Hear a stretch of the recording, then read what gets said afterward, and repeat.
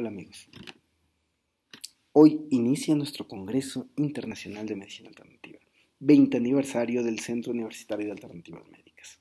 Lo comparto contigo, ya sea porque nos vas a acompañar más tarde o bien porque nos estás siguiendo y quiero que compartas esta emoción. Ya hemos recibido a muchos de los invitados, a muchos de los académicos que van a estar con nosotros durante estos días y vamos a poder compartir muchos aspectos. Pero bueno, vamos a continuar con este blog de nutrición, este, con este primer mes que nos dedicaremos enteramente a la nutrición en este septiembre de 2016 y para compartir contigo.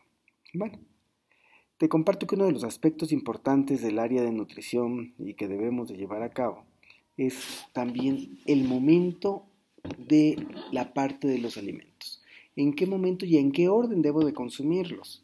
Se ha dicho eh, mucho y de manera correcta que primero hay que consumir los alimentos que son crudos. Imagínate, si tú consumes primero los alimentos crudos, entrarán como primera parte a tu estómago. Luego pueden venir elementos más procesados. Obviamente, si esto lo haces de esa manera, la digestión y lo que será los elementos y jugos gástricos digerirán primero esta parte, pasará y luego esto que requiere más tiempo continuará para llevar su proceso. Pero imagínate que lo hicieras al revés. Pones primero lo que se tarda más tiempo y requiere más para poderse digerir y luego consumes como postre algún alimento que puede ser crudo.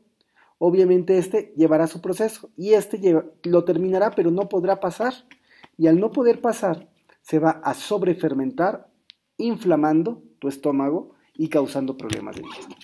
Esto lo pongo en este ejemplo para que aprendamos a que las ensaladas crudas, así sean de frutas, no deben ser postre, deben de ser un aperitivo y deben de consumirse al inicio de nuestra dieta. De esa manera consúmelo y te va a ayudar mucho para poder tener un maravilloso estado de salud.